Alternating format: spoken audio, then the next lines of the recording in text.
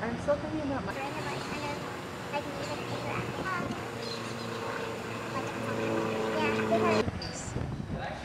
Uh, the one with the shot. Yeah, you don't want to do any more footage for that one?